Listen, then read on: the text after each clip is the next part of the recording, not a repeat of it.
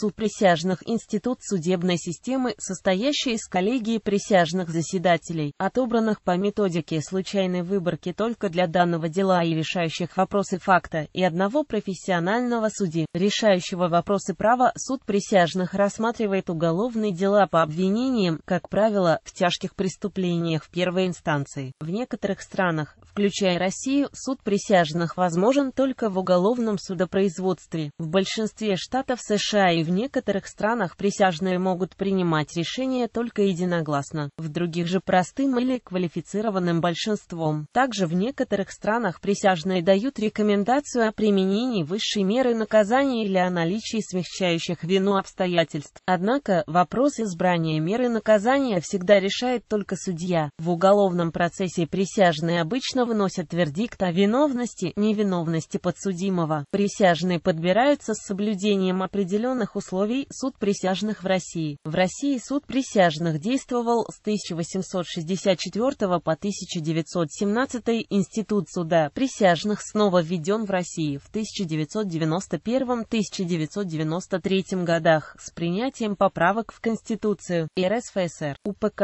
РСФСР, Закон о судоустройстве РСФСР и ряд других актов. С 1993 суд присяжных начал действовать в девяти регионах России – Московской, Рязанской, Саратовской, Ивановской, Ульяновской Ростовской областях, Ставропольском, Алтайском и Краснодарском краях. Позднее суды присяжных появились и в других регионах и с 1 января 2010 года Институт суда присяжных действует во всех регионах России. Суд присяжных США. Категория дел Конституция РФ, Уголовный кодекс РФ, Уголовно-процессуальный кодекс РФ, Федеральный конституционный закон о судебной системе РФ, Федеральный конституционный закон о военных судах РФ, Федеральный закон о присяжных заседателях федеральных судов общей юрисдикции в РФ, постановление Верховного суда РФ.